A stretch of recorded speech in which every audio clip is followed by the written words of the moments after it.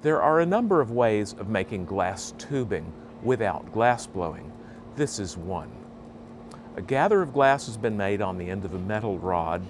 The edge is being pincered, and at a certain point, the pincered edge is pulled outward, and this begins to draw glass tubing from the reservoir at the end of the metal rod.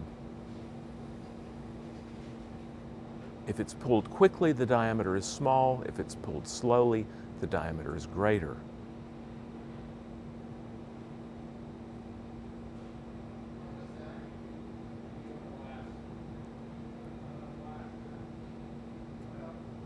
When the glass is stiff, the ends are cut.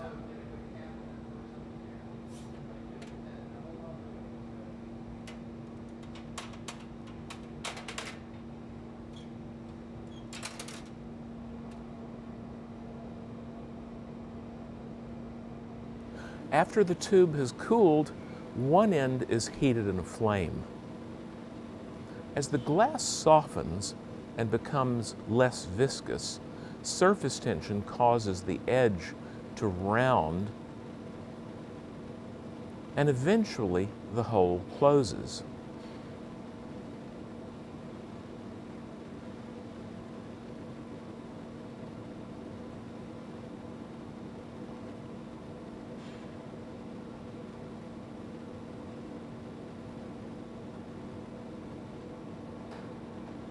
When the end is closed, air is blown in the other end and the bulge forms.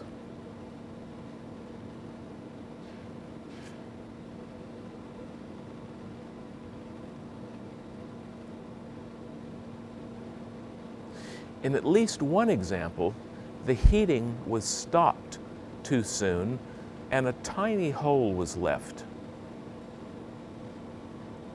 Here the hole is almost closed but not quite. Blowing begins. There's enough pressure to inflate the glass, but a tiny hole remains on the end.